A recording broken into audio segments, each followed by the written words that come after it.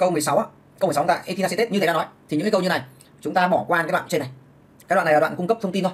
Đây, mình chỉ để ý là hiệu suất phản ứng tổng hợp là 65% đúng chưa khối lượng acetic acid cần dùng để sản xuất 1.000 thùng. Ethyl acetate khối lượng tịnh 150 kg một thùng, độ tinh khiết đạt 98% được chưa thế thì bây giờ thế này.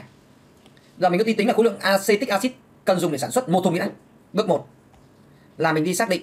Thầy cứ chia thành từng bước để bạn hiểu nhé. Xác định khối lượng acetic acid cần để sản xuất một thùng.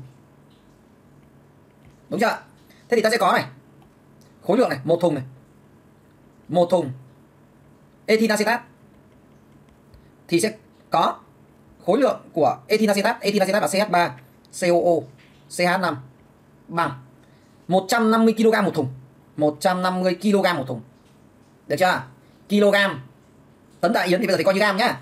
Độ tinh khiết đạt 98% vậy là nhân với 0,98 ok chưa? Đây là khối lượng. Thế từ đó thì tìm được số mol luôn. Đúng không? Thế thì CH3 này COH mà muốn ra được ethyl acetat thì cộng với lại CH5OH đúng không? Mũi tên hai chiều. Tạo thành CH3 COO CH5 cộng H2O đề bài cho chúng ta là hiệu suất phản ứng tổng hợp là 65% chỗ này 0,65 được chưa? Thế thì bây giờ là e, bây giờ mình sẽ tìm được là số mol của ethyl acetate đây. Nhá mình tìm được số mol của nó. Là bằng bao nhiêu nhỉ? Đâu rồi máy tính đâu rồi?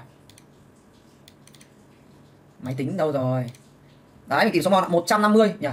Mình lấy là 150 150 nhân 0,98 vừa nãy đúng không? Chia phân tử khối của ethyl acetate là bằng 88 đúng không?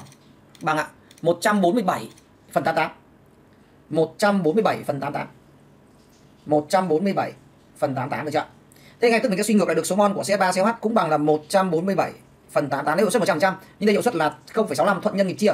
Chia 0,65 là ra số mol đúng không? Đấy 147 phần 88 này chia 0,65 ra số mol ok chưa và cuối cùng mình nhân với bao nhiêu ạ? Vậy mình nhân với lại 60 thì sẽ bằng. Nhân với phân tử khối của C3 CH là 60 bằng. Đây kết quả đây 154,195 nhá. 154,195 kg. Được chưa ạ? 154,195 kg thế với 154,195 kg này.